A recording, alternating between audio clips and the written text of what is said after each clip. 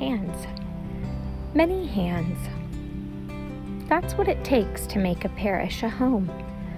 All Souls Parish is that home for us.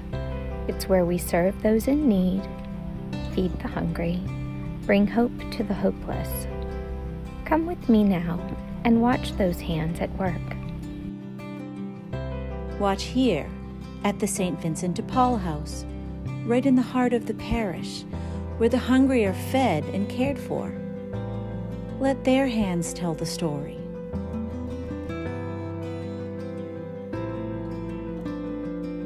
Here at the St. Vincent de Paul House, we Vincentians are here to minister to those who are less fortunate, to those in need. No matter where they're from, from the Sanford and Lake Mary area, we are here to do the ministry of God, to be God's hand and God's feet to help them.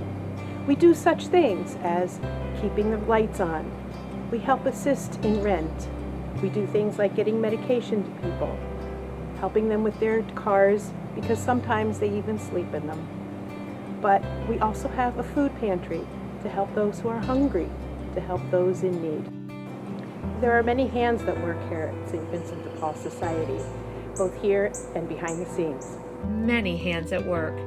Watch now as the Knights of Columbus, the Council of Catholic Women, and many more All Souls ministries lend their hands to the task of helping the less fortunate through their good works and charitable donations.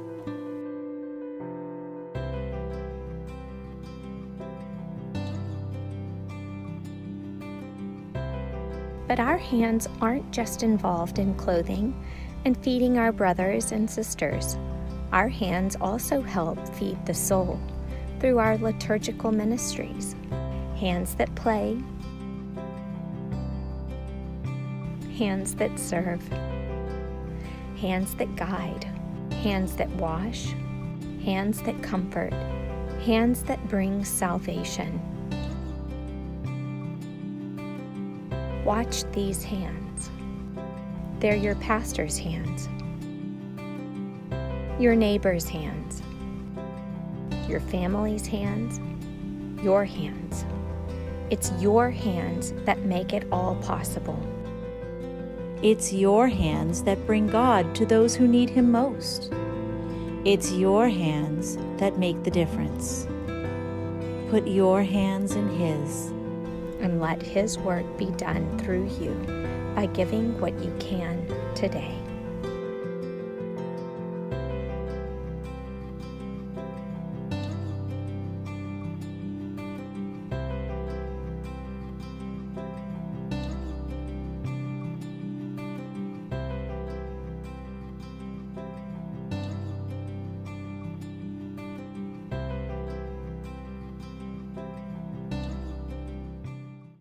Hello.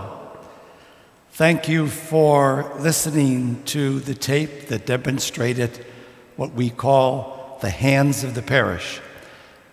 What you've seen is just a few examples of the hundreds of people that make this parish what it is. Without their hands, so many things wouldn't get done. But there's another element that we have to talk about and I'll use to begin this discussion the example of the church. If you have been coming to church on Sunday, you would see that we have anywhere from 50 to 150 people at any given Mass. There may be more at the Hispanic Mass, but you will see the church that can hold 800 now max out about 150. The lights of this church are turned on for the first Mass the AC is turned on, and for the comfort of everyone who's coming to church that morning, it's kept on. In order to do that, there's an expense to that.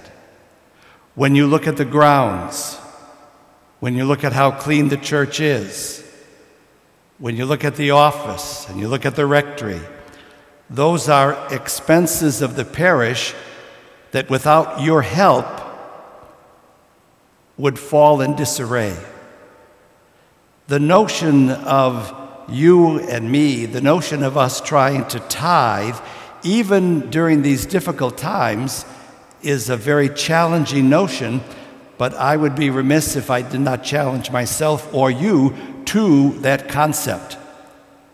On behalf of Father David and Ken and the staff, I want to thank all of those who have been during this time so faithful at supporting their church. It has been just an unbelievable example to me.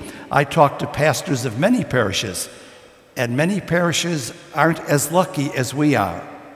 I don't know the reason why. All I do know is that many of you, despite the challenge of COVID 19, despite the challenge of coming to church and have to sit here or there, despite all that, still continue to support the parish financially.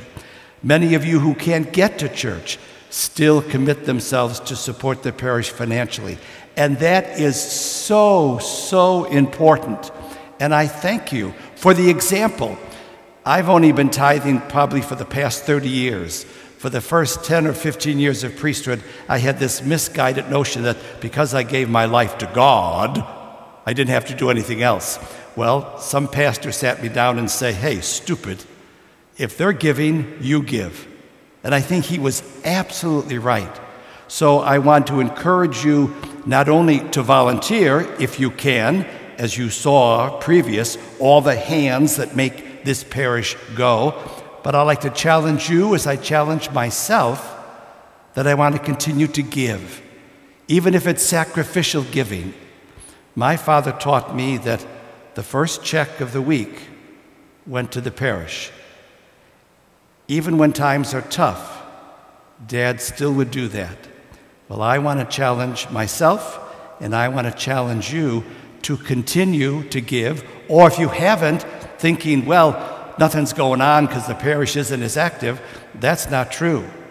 We all need to give God what God wishes. He doesn't ask for 95%, He doesn't ask for 50%. He asks us to try to get to 10%. So I challenge you as I challenge myself. If you are giving, thank you very much. If you haven't been, please begin. Again, anytime that I speak, if you have any questions with what I say, you can reach me at the office to talk further.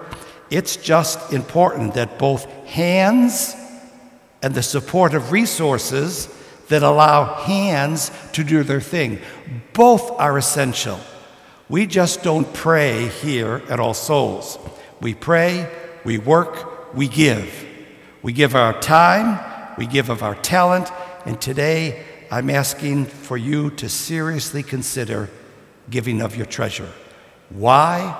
Because we want all souls to thrive. But again, to those who have been giving faithfully during this challenging time, thank you, thank you, thank you. Have a good day.